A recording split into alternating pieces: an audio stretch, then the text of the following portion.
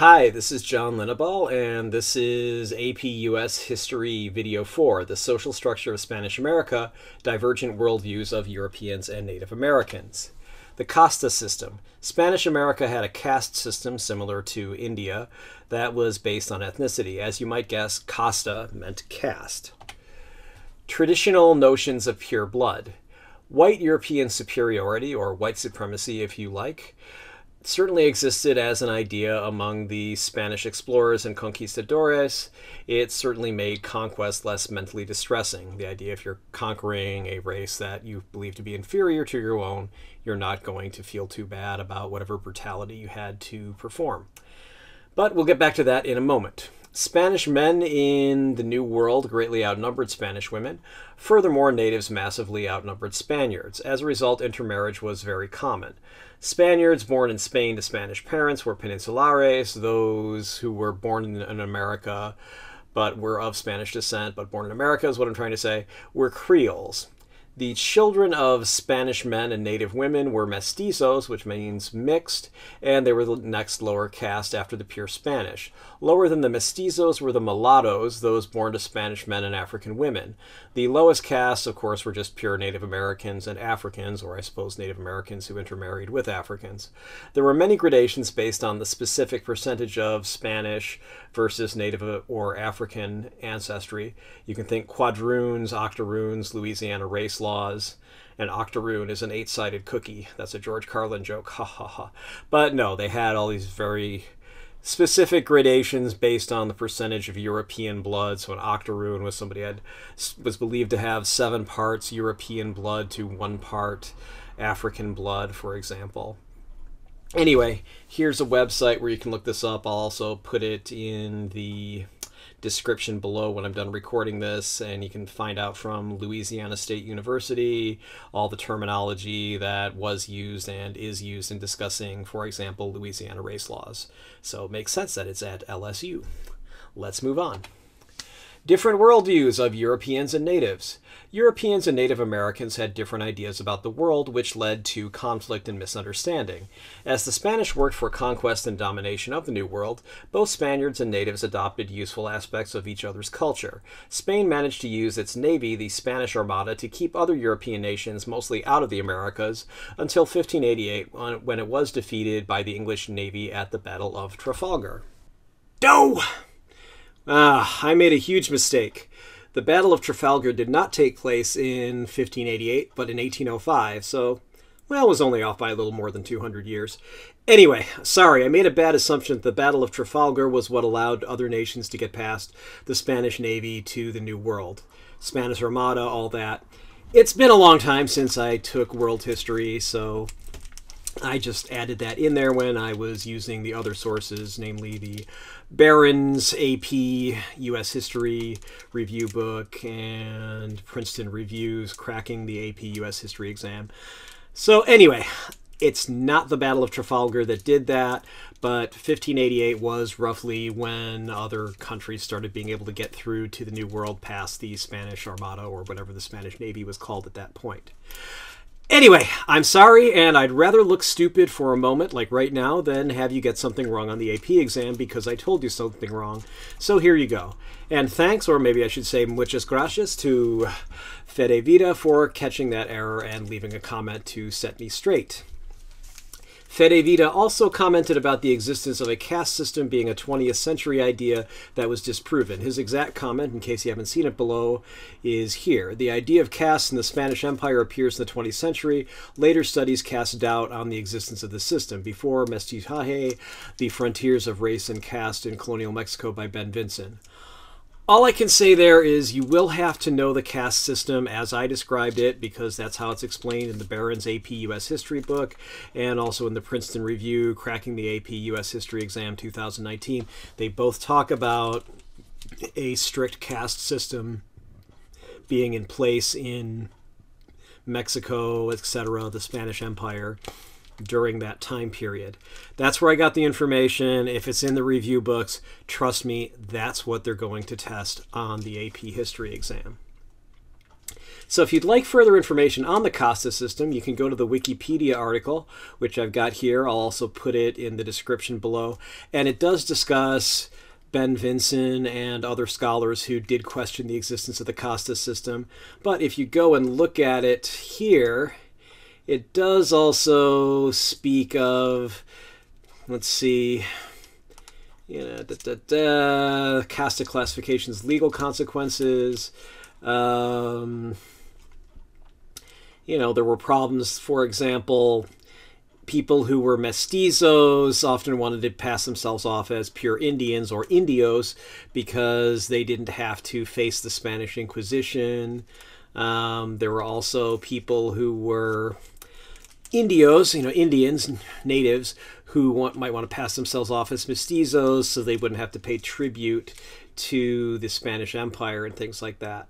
So these are things you can look through here. Um, so there were actual problems, you know, that were based on race. So you should know that there were definitely racial classifications, even if they weren't strictly a caste system. So at best, it's controversial. I wouldn't go with, uh, uh, would not go with uh, Fede Vida's comment on that completely. You're going to have to know about the caste system. If you want to bring it up and say, well, the castes were nowhere near as strong and as rigid as the books that I've had to read for this course would make it seem. That's great. You could cite to this article by Ben Vinson. You could cite to the Wikipedia article. Well, I would strongly suggest you cite to the historians cited in the Wikipedia article. So I'm pretty sure Wikipedia is not authoritative. It's not considered an authoritative source. So, also, if you'd like to learn about what the Battle of Trafalgar was really about, you can go to Wikipedia and look up Battle of Trafalgar. You can use this link here, which I will also put in the description below. So, on that note, I apologize, and let's get back to my video, so please ignore the comment about when the Battle of Trafalgar was, and enjoy the video. Cultural misunderstandings. For example, European society is and was patrilineal. The name, etc., passes through the father. So my father's last name was Linnabal. So that's why my last name is Linnabal. Okay. Indian slash native societies were often matrilineal, so the name passes through the mother, things pass through the mother. Europeans uh, believed in the individual ownership of land. Natives did not have that idea of individual land ownership, it just kind of belonged to a group of people, probably their tribe, for example. Adaptation in New Spain some natives became Christians, modifying it to meet their needs, ideas, etc. Some just became regular Catholics. Others developed their own religious beliefs. For example, Santeria in Cuba. And here's a website where you can look up things about Santeria to see about that kind of religion that was adapted from Catholicism and African religions. Resistance by Native Americans and Africans. Natives and Africans didn't adopt European ideas about land ownership, culture, gender roles, family structure, religion, nature, etc. wholesale. They didn't just say, oh, okay, well, the Spanish took over, we're going to do what the Spanish do. They developed strategies to resist assimilation into European culture despite their subjugation and defeat. I mean, they were defeated militarily, they had to live in the society, but it didn't mean they had to entirely cave into Spanish domination. Native American resistance in New Spain. Some natives fled Spanish conquest, leading to overpopulation in other regions and consequent conflicts. Also, violent resistance. The Guale people lived near Spanish mission in St. Augustine, which was one of the four missions in Spanish Florida. The Guale Indians, and I apologize if I butchered that pronunciation. Anyway, the Guale or Huale, however you pronounce that, Indians revolted against missionaries, trying to assimilate them, killing several missionaries. This was called Juanillo's Revolt. Acoma Pueblo people versus Juan de Oñate. Spanish had a violent confrontation with the Pueblo in what we now call New Mexico. Juan de Oñate was a Spanish conquistador, and his soldiers occupied land that were owned by was the traditional homeland of the Acoma Pueblo tribe in the 1590s. So in the 1598, okay, in 1598, Acoma refused to obey orders from Spanish troops to give them supplies they needed to survive the winter. The Pueblo killed 15 troops, including Oñate's nephew. Oñate responded by firing cannons from a mesa over the Acoma village, killing more than 800 natives. Survivors were tried by the Spanish for their crimes against their occupiers, I guess.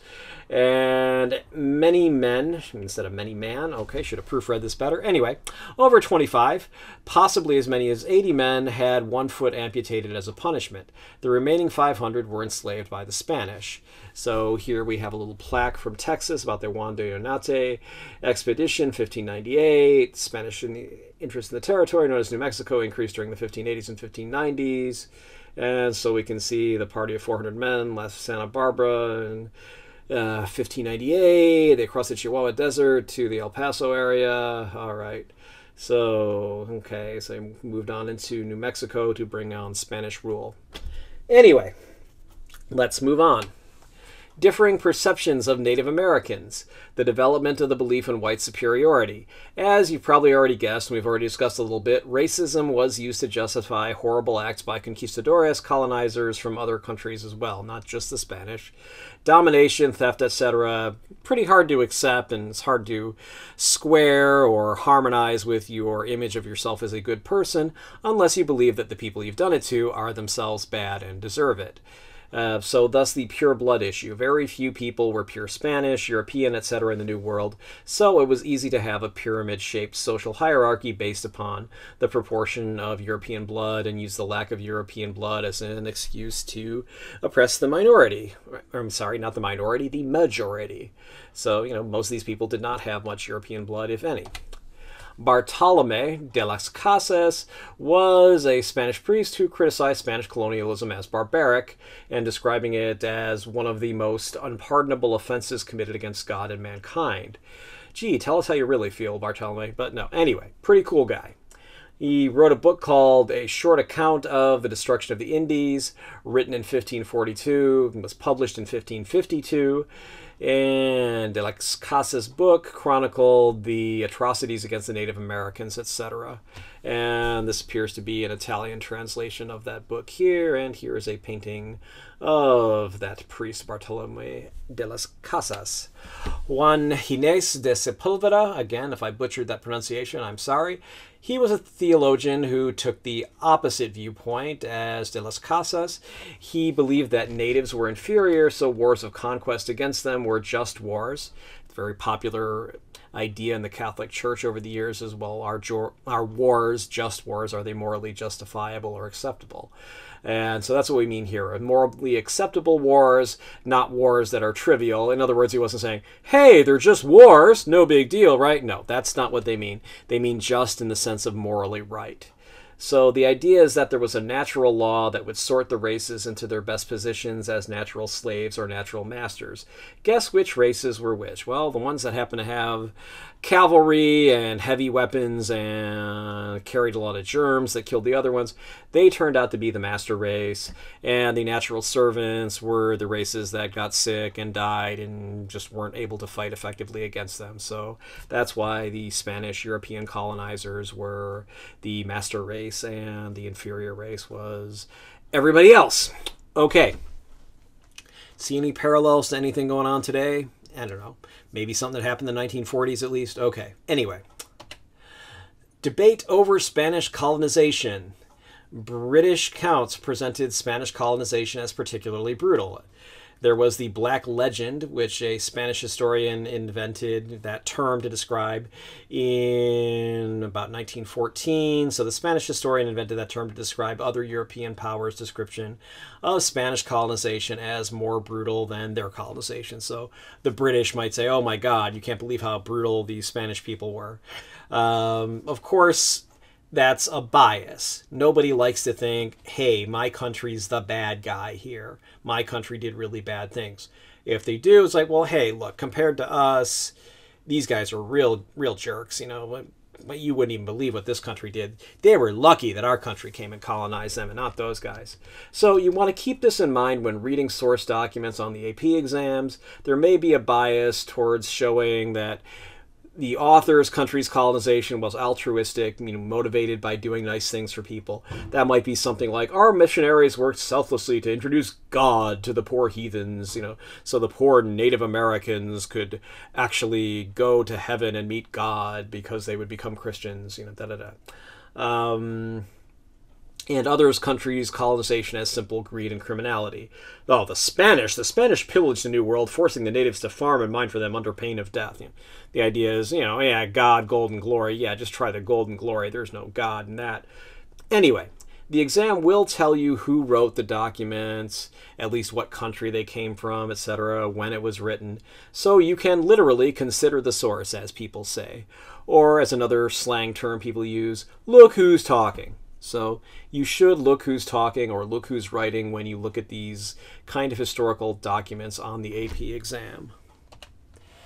Did you find this video useful? If you did, please like it and subscribe to my channel. Neither action costs you anything. You'll be alerted about my new videos. Why do I care? It's simple. YouTube doesn't let me share any ad revenue unless I have 1,000 subscribers and 4,000 hours, that's 240,000 minutes, of view time in a year.